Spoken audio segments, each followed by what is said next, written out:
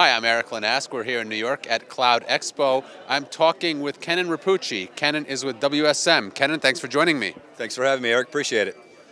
Who's WSM? What do you do? We're the world's largest cloud migration services provider. We've been around for a little over 10 years. We migrate, transform, automate, and implement DevOps, security, and performance solutions for cloud adoption for SMB through enterprise companies.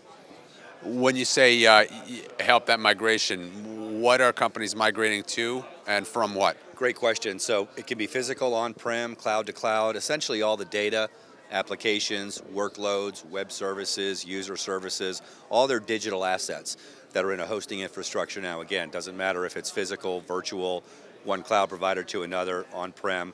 We essentially work with them to uh, execute a complete plan from the migration strategy to the integration and execution, transforming the applications to leverage the power of the cloud, whether it be hybrid or connected in some uh, other fashion to meet the workload requirements. And then we execute that transition and manage it after the go live is done. Why do companies need somebody like WSM? What are the challenges in, the, in that migration process? Great question, Eric. Uh, the short answer is because generally migrations only happen three, four, five years no one's really an expert at it unless you've been doing it for a long time. And so our secret sauce, if you will, and the solution and the value we bring to our customers is that we know what tools work when, in which case, based on their technical infrastructure. The easy way to explain it is that every application stack and workload and server farm, if you will, is a little bit different in terms of composition, construct, and configuration. So our depth and breadth of experience in literally hundreds of thousands of migrations that we've done helps us bring a solution that's custom tailored to the customer, leveraging automation, the proper automation when necessary, as well as our methodology to be able to execute and guarantee a successful migration to leverage the cloud or any other infrastructure you need for your hosting assets. How does a company decide what to migrate and, for that matter, when? Excellent question. Um, so the short answer again is uh, what to migrate. Generally, application dependency mapping.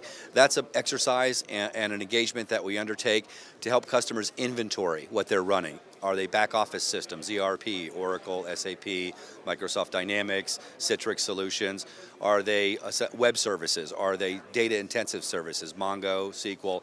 Um, inventorying these applications, and essentially with our knowledge, we're able to quickly assess what works best in the cloud, how can you leverage that for cost, scalability, performance, and security, and identify the right solution for them to migrate. So when you're doing this, as much as we, we do it, and as long as we've been doing it, it becomes fair, fairly intuitive for us to be able to quickly tell a customer with a quick proof of concept what's migratable, what will work, what should we leave on a physical server for the time being until cloud services can accommodate that, or the workloads are better for the cloud, and that's part of the value we bring to the customer to help them literally uh, expedite cloud adoption to avoid analysis paralysis and uh, be able to do it cost effectively to leverage the cloud.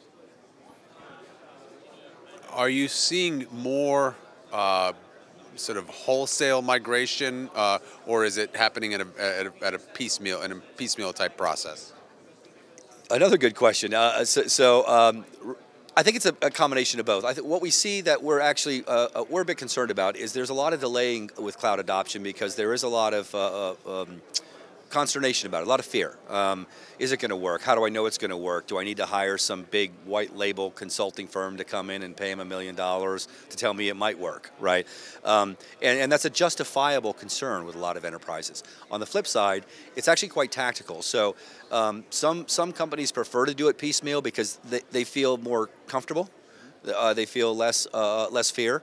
Uh, others, uh, and, most of our projects are literally a, a, holistic migration where we look again at all the application stacks and tell the customer very quickly what makes the most sense, what's low risk, no risk, high risk, what needs to be refactored, what needs to wait. So our services can help them quickly identify that. So we can integrate either a piecemeal a, a, sort of a sequential process of migrating all their assets or an entire migration strategy from beginning to end so at the end of the period of time they're fully cloudified. So, What's the difference in terms of the migration process and, and your involvement and what you have to do between larger enterprises and the SMB market? Generally, with larger enterprises, um, we're, we're spending some time on site with, with, with, their architects and CIOs and directors and application staff and operations staff Uh, to complete that inventory, usually there's more servers, uh, over 500, maybe up to three or 4,000 servers for MSPs and things of that nature. So we'll work uh, on site with them at the front end of the engagement to really create and craft a very formalized plan. Um, and then the execution model is essentially the same if you're enterprise or SMB. Um, in terms of the particular steps that have to take place to execute the migration properly. Um, we'll also um, do tools assessments. So we're, we're, we're, toolkit agnostic. We'll use some commercial software when necessary, when it's technically plausible, when it will save money and time um, and eliminate some redundancy. Um, we've also got internal software that we use, um, and uh, of course our capability to take workloads of all constructs and get them migrated if it has to be manual. So um, procedurally it all plays out the same. With our SMB customer base, um, we have a separate division actually for that, that um, is able to take you know under 50 servers and really sort of productize the migration, for lack of a better word, where the methodology is essentially the same, but it's a much lower impact because generally for SMBs, they don't use the um, as much custom digital stacks. They're usually web services, database stuff. It doesn't need to be a significant custom build in most cases, but even if it is, we can migrate it. Things don't always work 100% the way that they're anticipated to. You ever run across situations where you go through the migration process and then either partially or, or in whole have to help a company migrate back? Rarely do they migrate back. In the, in the early days, yes. So, so full disclosure, when we literally invented the migration services industry category from a services standpoint um, 10 plus years ago, we had a lot of black eyes and bloody noses um, because we were really the first ones through the brick wall. Um, again, migrations aren't events that happen regularly, um, and, and they can be messy depending on the application stack because every server is a snowflake. And uh, one of our partners, one of our friends at Rackspace, and also a partner, uh, indicated to us that uh, that same statement about five years ago, and they were absolutely right, Joe Palumbo. And so we look at that from the standpoint of creating a custom plan for every customer, and we accommodate for contingencies. Because of our depth and breadth of experience, we have a good idea up front where we may have issues of high risk. And we'll give a customer or a client, enterprise or SMB or mid-market, here are your options. Here's the risk level for that particular application stack. Matter of fact, we had a, an attendee come to our booth yesterday with a healthcare company, has some old Informix uh, uh, applications. He knows they're not going to move.